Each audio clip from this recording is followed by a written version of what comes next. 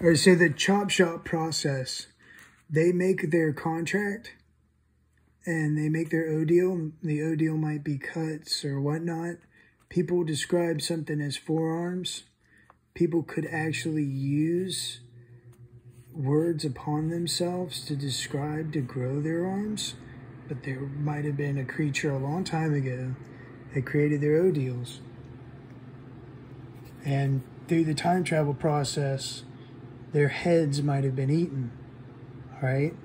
So they become certain types of Odial slaves, or what they might call Odial slaves.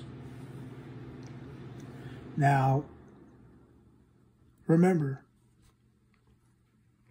what uses electricity to detect prey hearts in the O shin or O smoking? Maybe somebody got scared of the flesh image to be made and eaten by orcs, so they decided to jump to the Mao head so that people wouldn't notice. And then obviously through the time travel process, just like the Gelfling movie, except when you talk about stuff that might be 100% factual or close to 100% factual, above 90%, you start seeing some ideas that they might say.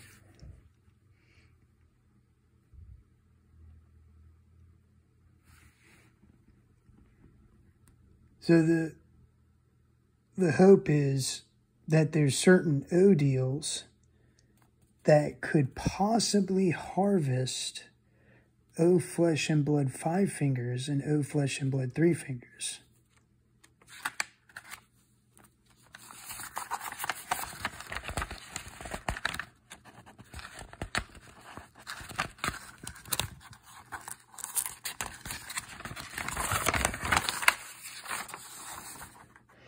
Now, there's a whole bunch of people that got dependent and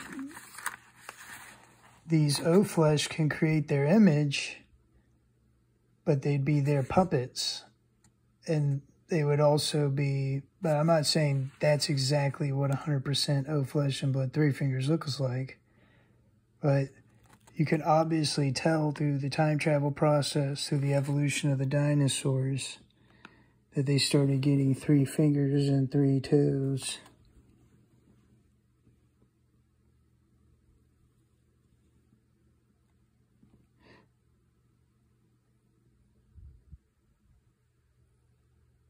It seems like it's a pretty competitive world. And millions and millions of light years, guaranteed to be something out there.